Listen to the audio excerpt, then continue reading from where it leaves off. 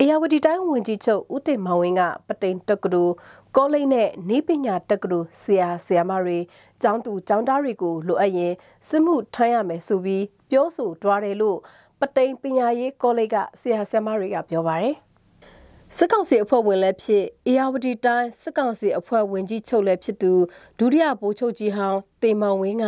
ပတိန်တက္ကသိုလ်ဝင်းအတွင်ဖွင့်လှစ်နေတဲ့တက္ကသိုလ်ကောလိပ်ဤပညာတက္ကသိုလ်ဆရာဆရာမကျောင်းသူကျောင်းသားတွေတက်ရောက်နေတဲ့အခြေခံစစ်ပညာတင်တန်းမှာဖေဖော်ဝါရီလ9ရက်နေ့ကပြောကြားခဲ့တာဖြစ်ပါတယ်။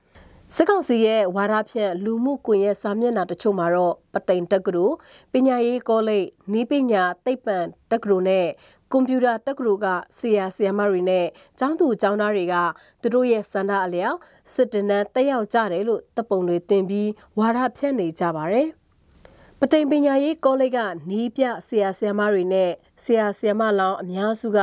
အခြေခံစစ်တင်တန်းကိုမတက်ချင်မဲမဖြစ်မနေတက်နေကြရတာဖြစ်ပြီးကြံတက်ကရိုတွေကဆရာဆရာမနဲ့ကျောင်းသူကျောင်းသားတွေကလည်းကျောင်းအုပ်ကြီးတွေကတက်ကရိုအလိုက်မေဂျာအလိုက်ခွဲတန်းချပြီးစစ်တင်တန်းတက်ခိုင်းနေတာဖြစ်တယ်လို့တက်ကရိုကဆရာမတဦးကပြောပါတယ်။ စစ်ကောင်စီကဖွင့်လှစ်ပြီးအနောက်တောင်တိုင်းစစ်ဌာနချုပ်ကနေပြတွေတင် जा ပေးတဲ့အဲ့ဒီအခြေခံစစ်ပညာတင်တန်းမှာလက်နက်မဲ့အခြေခံစစ်ပညာနဲ့လက်နက်ငယ်စစ်ပညာတို့ကိုဖေဖော်ဝါရီလ9ရက်နေ့ကစတင်က